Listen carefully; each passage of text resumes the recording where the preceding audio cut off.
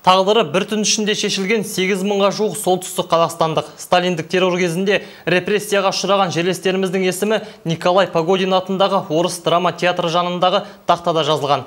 20 ғасырдың 37 жылдары дәл осы арада ақ түрме болған екен. Қара қарға көлігімен келіп, НКВД адамдар алып кеткен азаматтардың өміріне төрелік сонда жасалды. Бір жарым мың ату жазасына кесілді, қалғандары концлагер азабын тартты. Қазақ халқының тарихындағы қаралы кезеңдердің бірі туралы әріптесім Эльмира Сәдуақасованың репортажында. Шет тілін білесің бе, американдық пен французбен таныстығың бар ма, тыңшысың. Болыс болып біреуге жақпай қалдың ба, халық жауысың. Ашаршылықтан сақтанамын деп қыста бидай тердің бе, отан сатқынысың. Тоталитарлық жүйенің логикасы осындай болды. Айып шындыққа жанаса ма, жанаспай ма, дәлел бар ма, жоқ па, ешкімнің онда шаруасы жоқ. НКВД-ға біреу көрсетіп жіберсе болды. 25 жылға дейін концлагер немесе өлім. Жаза осы. Подписывай. Мы знаем, что ты японский шпион. Ақ жеткізілгендердің дені айыпсыз болды. Бірақ тағылған жалған жаланы оларға мойындауға тура келді. Басқа амал жоқ. НКВД адамдары алдымен психикаға әсер етті. Ұрып соқты, отбасын айтып қорқытты. Көнбеді ме, көндіру үшін жан түршіктірерлік әрекеттер жасады. Адам талып қалғанша тепкіледі, ине қолданды, сабады. Мұндай тергеу бірнеше аптаға тіпті бір айға дейін созылды. Азаптан аман қалса, үкім шығарылды.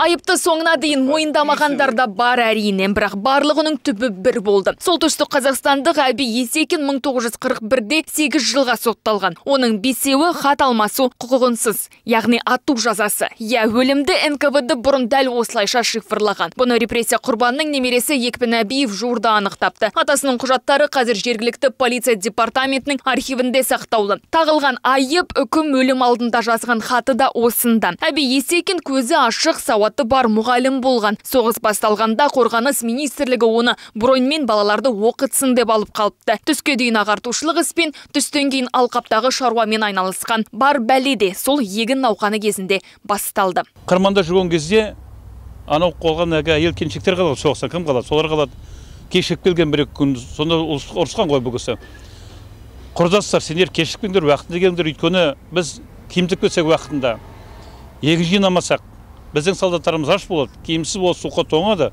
сосын барып біз немістерге ден жеңілуіміз мүмкін Иық тірестіріп бір мақсатпен бір мүддені ортақ жеңісті қалаған адамдар ғой. Майдан үшін, жеңіс үшін деп ұрандатса да, қасындағы үш әйел Әби Есекинге қастандық, сатқындық жасаған. Ауылдастары азаматтың айтқанын 180 градусқа бұрып жіберген.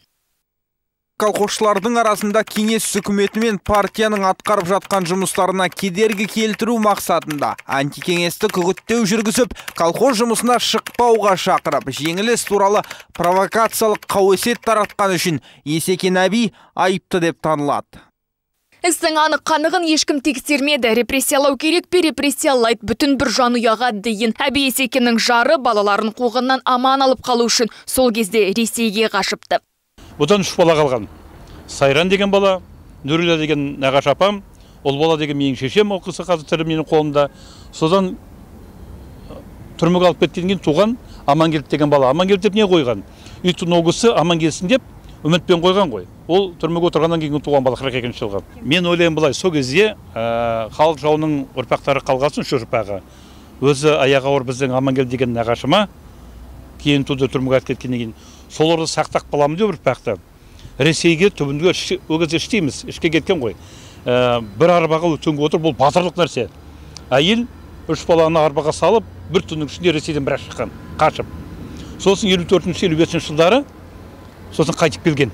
Қуғын сүргіннен құтыла алмай Карла Гулаг пен Алжирде көз жұмғандары, концлагердің азабын тартқандары қаншама. Неліктен не үшін түсініксіз. Халықты жұмылдырып, көзін ашып мемлекет құрғысы келген алашордалықтардан билік қорықты. Елінің келешегін ойлаған ерлерді ату жазасына есті. Қарапайым жұмысшылар да осындай тағдыр күтіп тұрды.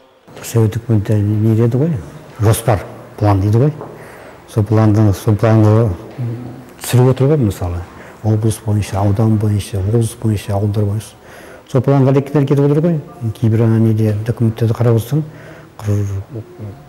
колхозшы сауаты жоқ деген кісі. Одан қандай жау болады? Соттағанда сот болған жоқ ондай үштікте тройка пятерка дейді. Облыстың бірінші басшысы облыстың прокуроры сосын нквдның бастығы үшеуі списокқа қол қойып береді Берілген норманы асыра орындасаң репрессияға ұшырайтын келесі адам сен емессің деп ойлады олар. Осындай кепілдік үшін үштік пен бестік қарап қалмады. Кеңестік саясатқа қарсы жасалған әрекеттердің негізінде біз бірінші деңгей бойынша 8 мың адамды, екінші деңгей бойынша да 8 мың адамды ату жазасына кесуге рұқсат алдық.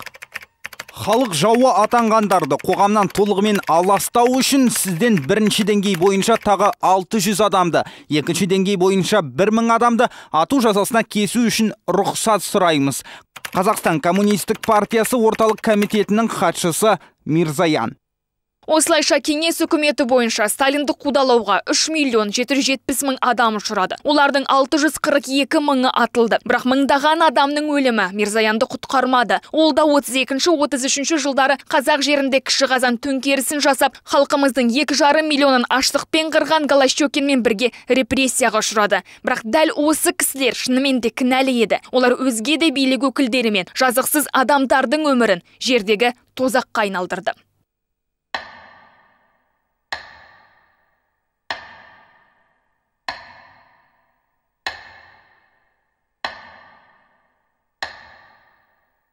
Эльмира Садуақасова, Михаил Казначеев, Жұлдызбек Ермұқанов, муниципалдық телеарна.